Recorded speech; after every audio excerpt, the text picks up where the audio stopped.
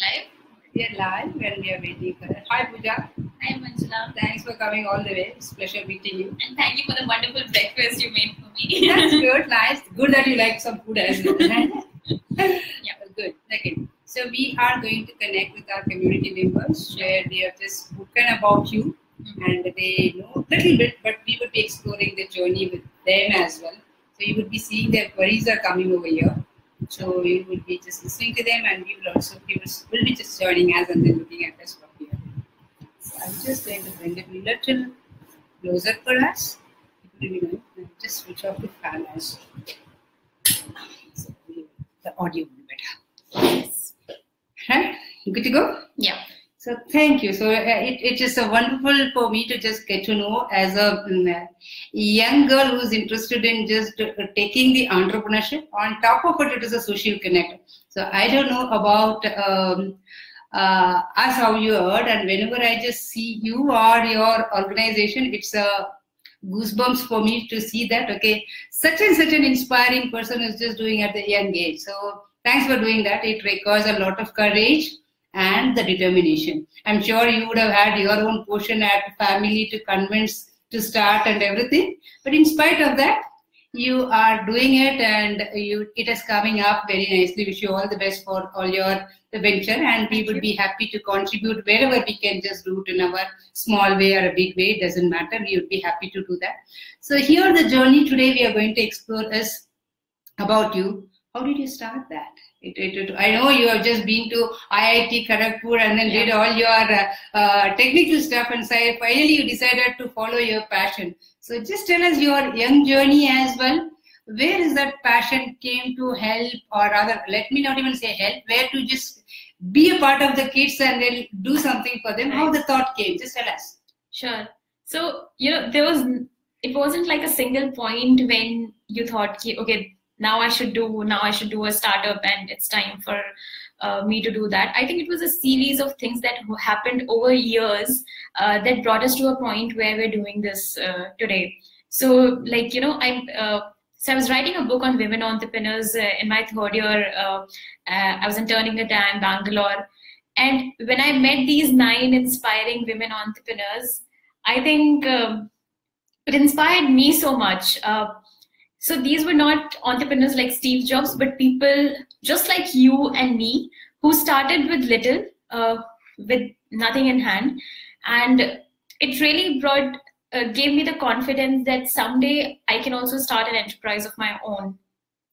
How the journey of Anthill started uh, was way back in college. Uh, we went to this uh, underprivileged school called Disha Seema Care Center in our campus itself and we saw that children were playing with sticks, stones, slippers, and we felt that these children deserved much more than this. And uh, so a group of us, like five of us, uh, we were studying architecture. We thought, you know, let's let's make the use of this uh, knowledge that we have gained in these five years in college and build a playground for these children. And uh, that's how we, you know, built our first playground. After we built our first playground, we saw that, you know, that there's a huge need of these playgrounds in the entire country. People started reaching out to us from villages, forests, all over the country, saying, "Can you come and build it for our children in our school, in our orphanage?" Uh, so that continued for almost a year, and then we realized, ki, you know, it's high time we take this full time. There's a much larger need that we can cater to, and uh, yeah, And I, I also know after this is an intern story, yes, and you also joined the corporate, yes. right? So after your uh, uh, uh, Not really a corporate; it was a startup. startup you Yeah. also joined and being there but then you felt the passion what you wanted to do would have just be pushed you saying that i don't want that and i wanted to start that Yes. so how is that one is the courage part but how did you convince your family that, that- that's an interesting story. Um, so basically, me and Nancy, we had started discussing, you know, uh, let's do this full time, and we kept on discussing for almost a month, and finally we thought, ki, uh, we'll not come to a conclusion just by thinking. Let's let's get into it. Let's do and try. But it, it was difficult to convince your parents, uh, you know, uh, how to go about it. So right after that, like just before I took Anthill full time, I went on Jagriti Yatra. Okay. And during the yatra, I met Anshu Gupta, who is the founder of Goonj. Okay. And I heard his story. And uh, it was very inspiring. Uh, he was, you know, he had a very similar journey where he comes from a middle class family and then he decided to do an NGO. So I asked him, you know, like, uh, your parents have certain expectations from you. Ki finally, the you know your child has graduated, will do a good job now, and then you go and tell your parents, you know, no, I want to do startup. That uh, that too, a non-profit. Non-profit, right? That is another story behind that. So uh, I mean, it, it's it not it's not just them. It's this how the society, Society sees as well. the Mm. NGOs as you know, you, it's not very looked upon if you're doing an NGO. It's always uh, seen as a part-time thing that you would do. Uh, but if the problem is much bigger, I think a more uh, effort is also required. So Anshu, so I went and asked Anshu Gupta, you know, how how do you convince your parents? And he's like, it's a, a little funny answer. He's like, so if you have a boyfriend, will you not go and convince your parents uh, uh, that you want to marry that person? You're going You would, You- right? Yes. So stop making excuses. All these excuses you're giving to yourself. If you want to do something very desperately, uh, you will convince everyone. Absolutely. So you, I mean, I wouldn't have been able to go against my parents and do this. Uh, but I believe that if you want something that badly, uh, you can convince e- everyone. everyone right? Awesome. So i think that's a strong one. You, you, I, I, he has just given in a simplified uh, manner saying that uh, if you have a boyfriend you will go unconvinced. But it is a powerful uh, message as well right? If you decide to do that and you will come out to me you will just go and do it. And uh, and you will convince. It's just not we'll go against the will of it. We will convince. After all they are our parents and we know how to convince them as well awesome. So that was the one um, inspiring for me to look at that. You had a courage and you have a determination to make that happen. Okay. So now let's just look back to that. Yes one thing i also agree with you. The moment you say ngo people take it in a quote and unquote in a different aspect right? So it is just for a, either a time pass or it is about um, not making money. They don't have a different uh, so we are dealing even uh, we also come across the same thing saying it is a foundation for us uh, in fact, people keep uh, asking, why do you have the business idea like this, bringing a women back to work? There's no business idea only. And first year was a complete rejection from the corporate saying that I like it, but there is no business behind that. We can't bring the women back to work. They are, uh, what do you say, uh, fully family oriented. They wanted to be behind with the kids, and there is no commitment. And now we are slowly changing the ecosystem. Yes. So that is the beauty of what we are. There's an effort which is required to change that. Like if we uh, keep on doing things how they have always been, it's not gonna improve. it's not going to improve. So somebody is needed, and I'm happy that you have just come back, uh, come back, and then do it. And the other beauty of that is the way you have just created the playground. It's not something costly affair, Right. right? So using the tier tires and then the recycle item you are bringing, which is making it eco-friendly, and the investment is also less about that. So. um, how do you see that acceptance in the corporate side or anybody now? So I think you are there for Right. last two years. So I mean, we built our first playground three years back. We've Mm. been doing it full time for for a year now. For a year now, okay. So in the beginning, like when we had not even built our first playground, it was very challenging.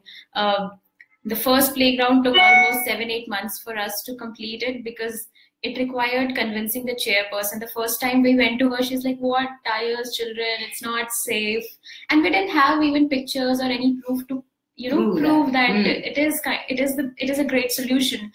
Uh, but you, we went many times, and it requires convincing uh, in the first. But after we built the playground, I visited that school like uh, uh, in October after almost three years, and um, Hansa ma'am she comes to me and she's like, "So my children invented a new game today." Oh, okay. I was like, even after three years, like you know, children are inventing new games every day. That is the that is Beauty, the beauty. beauty of what we're doing. Like these are not structured play, like where you give them a sing, swing and a slide, slide, and they know what to do.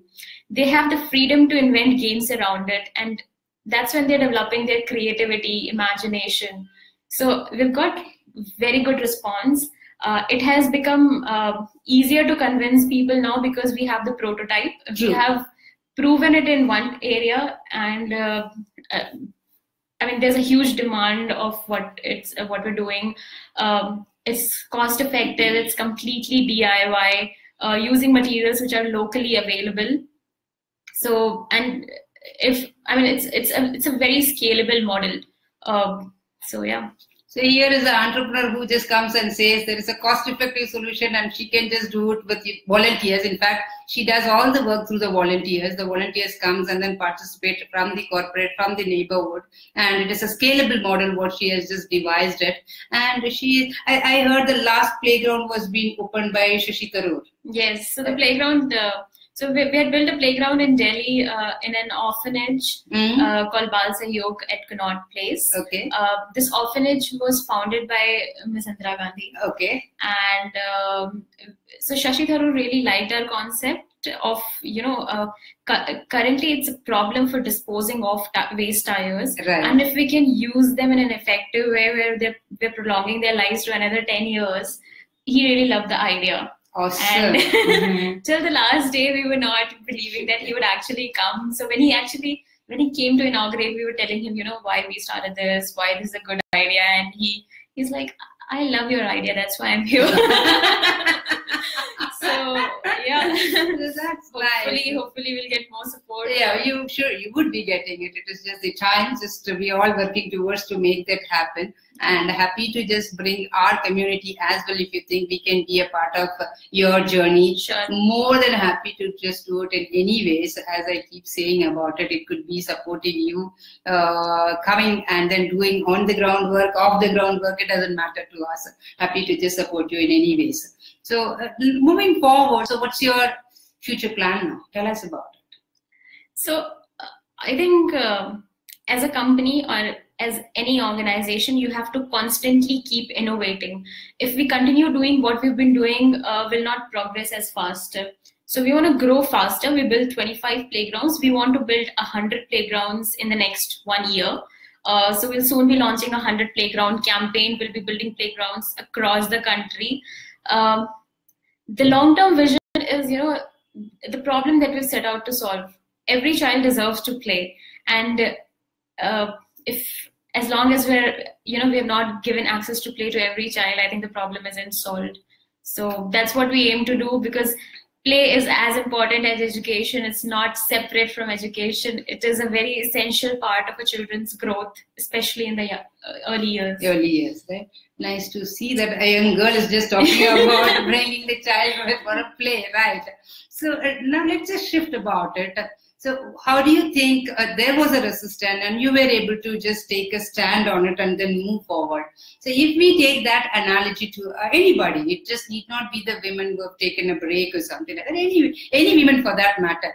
When we decide what could be the way to just turn around and then look at their passion turning into the, could be the career or could be the entrepreneurship, doesn't matter. Yes. But uh, taking the passion as a core strength and then move forward. What do you think we should do? So, um, you know, like uh, like the famous quote if you ask a fish to climb the tree they'll not understand that potential. So i think it's very important for anyone to understand what they really want to uh, do and what drives them. Because if you do something that you're really passionate about it won't be work anymore. You wouldn't complain that i'm working seven days a week or 24 hours in a day.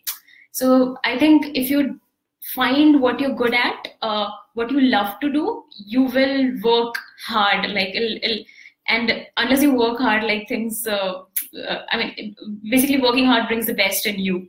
So uh, that's one. Also like what keeps you going is I, I would say i've heard from a lot of mentors that you know never give up. Uh, the path of entrepreneurship is not easy. Uh, there are times when you feel when you're at rock bottom and you feel like uh, I'm on the wrong path. What's happening? But it's at that point of time that you have to, you know, uh, keep going.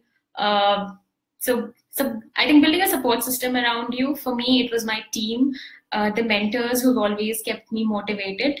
Uh, so I think that's really important in any career. Like if you have people who keeps you who keeps you motivating uh, who can guide you uh, yeah. okay so, so, that's one good thing you just brought hard work and your passion it doesn't makes you feel tired Yes. You, you keep moving about it. Yes, at times you get your downtime, and most of the time entrepreneurs get into that, which, which is also true. As you rightly said, if we surrounded with the people who can pep you up, right? It's okay. It's okay to fail, but we can do it. Yes. That's all is the encouraging words we needed, and we get it. We'll be able to do that.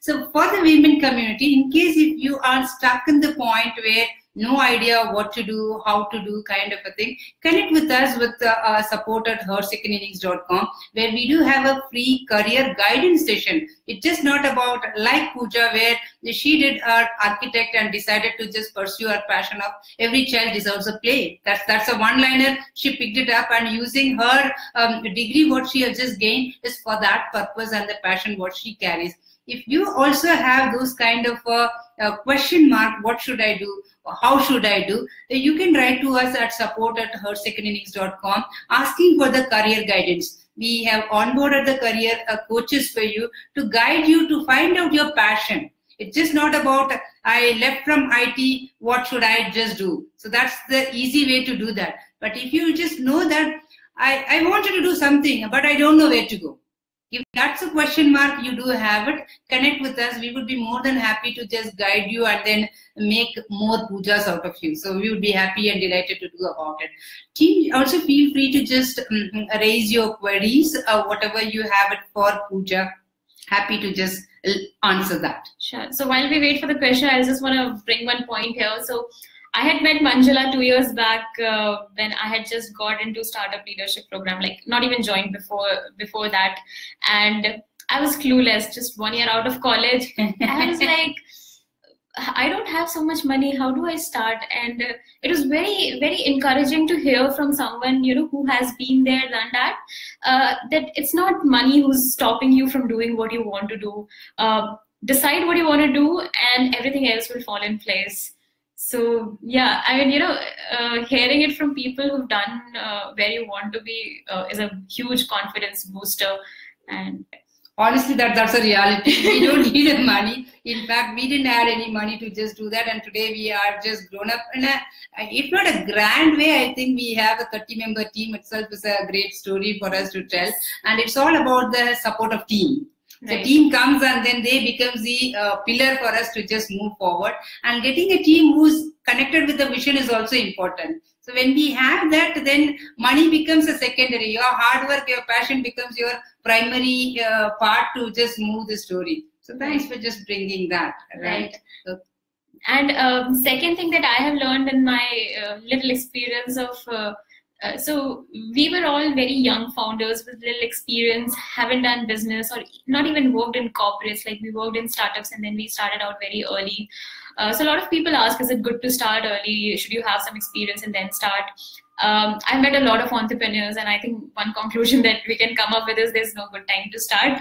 Start whenever you want to. Uh, if you start early, you learn from doing mistakes. So how we uh, how we avoid doing mistakes is, I think, uh, mentors. Mentors have played a very important yes. role for us. Yes. Uh, they help us with their experience, and uh, I mean, finding good mentors who really understand the problem that you're trying to solve is is very uh, you know fortunate to have uh, in the journey. True. So, so, taking a cue from what you said mentors plays a role. Even for us without mentor we are not here. Today we are standing. There are uh, many mentors who just become a pillar and we were about to collapse and they said no nothing doing. You're coming back. So they are the mentors who just helped us and then bring us back over there. But uh, a second part getting that mentor is itself is uh, finding a diamond right so what how did you do that? Because uh, that would be because many of the women don't have a clue of how do we just get into the career they need that guidance. Right, right? so how do we advise or give us suggestions for them to just look for those kind of mentors? Um, so for us it happened like i was a part of startup leadership program and we were also the part of the incubation at iim bangalore. So the starting like uh, these two platforms have really helped us connect with some of the very good mentors. And then you know once we started meeting these people taking feedback from them uh, there were very specific mentors that we really wanted to connect and then we just went and reached out to them. We didn't wait for any platform or a network to connect us to that. But in the beginning i think uh, even a platform like her second innings uh, have being a part of a network like this uh, can connect you to mentors in the industry. Also, figure out who are the right mentors for you. Uh, so that has worked out for us. That has worked out for us. So that's a good thing. So one is initially you need that platform, but Right. uh, we should also bring that skill for us. We should be able to ask. Yes. So unless we ask, people are not going to come and give. yes. So asking is a, I would say, your birthright. Hmm. Keep asking people. At best, what you will get, no. It's okay. yeah. It's okay to get a no, but then still we'll move on and keep asking. You never know who's going to give it to us. Right. So that's so that's a good thing where we have to learn as being a girl to just go and ask for it. No shyness or no hesitance. At best, we you also go with the expectation you'll get a no. So when you get yes, you find interesting. So you don't get rejected when they just uh, say no from get a no from someone else. So that was a, another good thought where we can just do that. Yeah. So. mm how do you just keep yourself uh, uh, continue on the journey? Is there anything uh, you do to just keep yourself on the move, or how do you just spend your time? So I think, like I said, right, every company has to in, keep innovating in whatever they're doing. Uh, we constantly, you know, uh, keep pushing ourselves to reach higher targets, uh, uh, bringing out new uh, new things in our company, experimenting. Uh, starting, we, we experiment a lot. We believe in failing fast. So we do, we fail fast, we improve, and we, you know, uh, do it. So I think it's a constant learning that's happening uh, what keeps us motivated is our long-term vision and the happiness that we bring to these children. Um, if at, at, at any point of time my motivation goes even a little dip, I just visit a school and I see those children playing in the playground and gives me uh, confidence that I'm on the right Yeah, path. that's so good. that's my hack uh, that I found for myself. I think e- everyone will have their, will have their own hack to just figure it out what brings the happiness. Yes. what brings the happiness, if you just figure it out, then the effort is not uh, um, tiresome. The, the effort is something you have a long vision to just move forward. Let's move on. So, if not today, tomorrow is a hope for us to do. Yes, and we've come a long way. Like uh, you know, all of us have this natural thing that we can't take a no. Um, like I- I was discussing yesterday only with my co-founder that uh, in the beginning, if we know that the answer would be no, we wouldn't even go and ask. ah, right. But now we've come to a point where we're shamelessly Shamelessly ask for go it. and ask for what uh, we need, uh, be it, I mean, be it uh, uh, for playgrounds or for growing our So organization. funding or anything, right? So the same thing applies to all of you, whoever is just listening or who's going to listen about that. If you need to succeed in the career, ask for it. It's uh, go with the expectation. No, it's okay to get a no. So if you think people will say yes, then when you hear a no, you will just get demotivated and feel bad, stressed out. Yeah. What happened? Go with the no, assuming if you get a yes, it's it's a super day. You got it, right? So Yes. ask for it and then get the things done. So thanks, Priyanka, for just uh, sharing a thought saying that uh, yes, we need to have a right mentors and uh, uh, in the connected world, finding a mentor is easy now compared to earlier days. Uh, your LinkedIn is available to go and find a right mentor, and platform like Her Second Innings are bringing that. And all you need to do is a instead of playing in the Google and Facebook for some other social connect, we should also pull out a time to just get into these kind of a structured way of how do we spend time to grow ourselves Hmm. right that that would be the uh, key point for us and uh, again if you are confused about it invest and find the platform who will help you the clarity how do we just get the career planning done or a goal planning done? What is your passion? If you don't have an idea or the simple step i keep telling everybody is do some work continuously and you feel not tired. If that's the case that means you love it and it brings the happiness for you. And we should revolve our career uh, uh, based on that rather than just finding. The way she just found is the kids happiness and every child should have uh, should have a right to play and she has taken that and then used her uh, knowledge to bring the application of bringing the playground. Even now we were hearing morning having a discussion what is the innovation? So probably you can just tell us about that. So now there is no place only available in the major cities. So how do you bring the playground here? So we were, we were thinking you know like uh, a lot of these schools do not have a ground where we can build playgrounds so we need to find solutions so when these challenges like these come we see them as an opportunity for us to innovate uh, so where we're trying to build interior uh, playgrounds. So we've also made a library. The school did not have any space, so we made a library out of it. If we can build portable uh, playgrounds that you know you can use and then you can fold it and Fold keep and it keep at the side. Mm. Uh, I mean, these kind of solutions will actually cater to a large number of people. Um, if we can, you know, we're also trying to create a playground for a universal playground for special needs children. Uh, so I think these are things that we have to keep doing and uh, reach out to more children. Okay, good. So uh, thanks, Sumati. That's that's all is a key point all about. We should keep asking, and all we just have to go with the. They will say no. Then also we'll go with ask. Then if you get a yes, it's a bonus. So thanks for that. And Right. Priyanka is asking. Someone said that we females hesitate asking questions. Instead, we should go out and ask for more. Let's not discount ourselves. All the best, Pooja, and for the wonderful idea. Let's play.